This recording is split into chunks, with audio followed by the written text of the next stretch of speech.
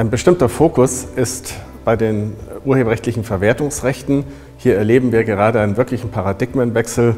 Die Rechtsprechung des Europäischen Gerichtshofs erschüttert das deutsche Urheberrecht gewissermaßen. Alte Auslegungsregeln ähm, sind nicht immer mehr anwendbar, sondern die neue Rechtsprechung stellt sehr viel stärker auf den wirtschaftlichen Aspekt der Nutzung ab. Ähm, die Dogmatik tritt aus deutscher Sicht so ein bisschen in den Hintergrund. Hier muss man umlernen.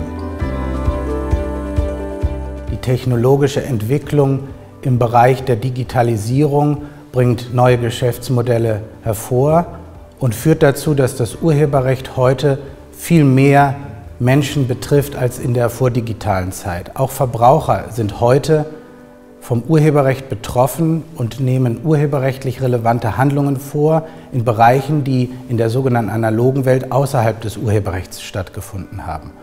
Und neue Marktteilnehmer, wie zum Beispiel im Bereich der sogenannten Plattformökonomie, haben ihrerseits ganz eigene Interessen, wenn es um die Frage geht, wie der urheberrechtliche Interessenausgleich organisiert werden soll. Dadurch haben wir heute ganz andere und zum Teil sehr viel stärkere Konfliktlinien im Urheberrecht als vor einigen Jahren und Jahrzehnten. Unser Kommentar bleibt der Praxiskommentar. Wir haben uns darum bemüht, die Rechtsprechung ähm, eben zu bewerten, aufzuarbeiten und in einer Weise darzustellen, dass sie für den Anwender eben auch äh, nutzbar ist, dass er schnell seine Antworten findet, um seine Fragen äh, praxisnah zu beantworten. Gleichzeitig bieten wir aber auch genügend Einführung und äh, einen Rahmen an, um die Materie auch tiefer zu verstehen. Also beides, schnelles Aufwenden von Lösungen, aber eben auch äh, die notwendige wissenschaftliche Tiefe, für die wir ebenfalls stehen.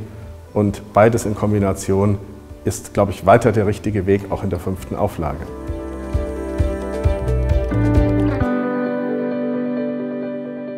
Mich hat die Nähe zur Kunst zum Urheberrecht gebracht ursprünglich.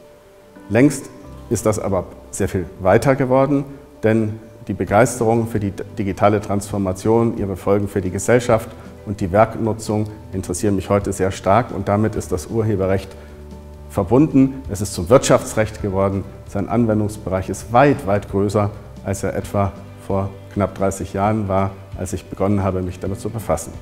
Und für mich und für uns ist es als juristische Praktiker eine unglaublich spannende Materie, weil sie wie kaum ein anderes Rechtsgebiet unter permanenter Veränderung steht.